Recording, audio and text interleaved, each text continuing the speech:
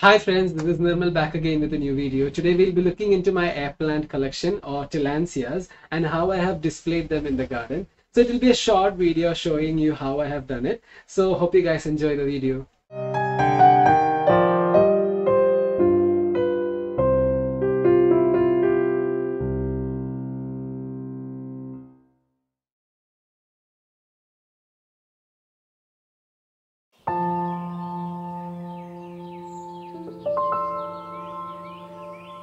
Gardening on vertical surfaces are getting more and more trendier and useful as they consume less amount of space.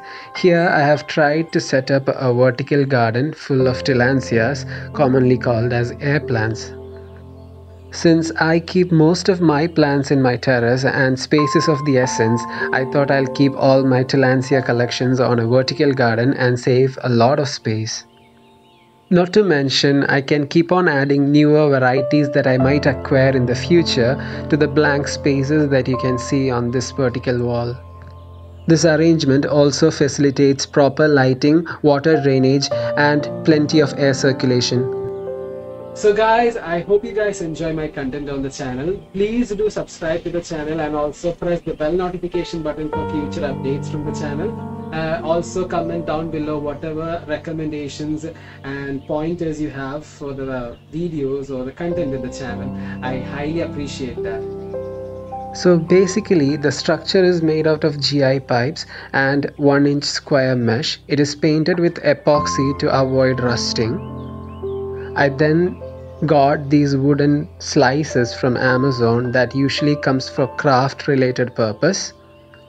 Later on drilled two holes into it for hanging as well as fixing the aluminium loop that will hold the plant onto the plank.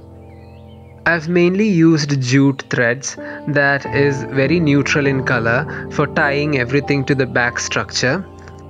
Tillandsias hate copper and some other metals so to be on the safer side I have avoided most metallic wires that you can use for such situations also you cannot use plastic wires or threads because they deteriorate under sunlight. So there are some content regarding how to care for your air plants and I have done several videos regarding this. So do check it out. I'll also leave links to such videos in the notification bar. So now we'll briefly discuss on how I water my tillandsia vertical garden. Since they are exposed to a lot of sunlight and gets a lot of air circulation, it's vital that you water them on a daily basis. In a temperate or colder climate, you can reduce the watering to twice a week. Reduce the frequency of watering drastically during the winter months. So the wooden branches that I have used for this arrangement came from a jackfruit tree and a big branch broke off of the tree last monsoon season.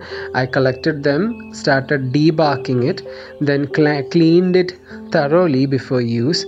So I, I took a small twig from the yard just to show you guys how i did the entire thing. So this is what i did for the bigger branches you see in the arrangement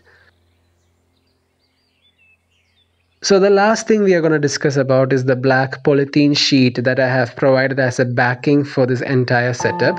This gives a good contrast and a pop of color.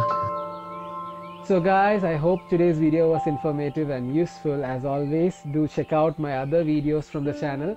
And if you like my content, do subscribe to the channel and be a part of the family. Until next time, it's Nirmal signing off.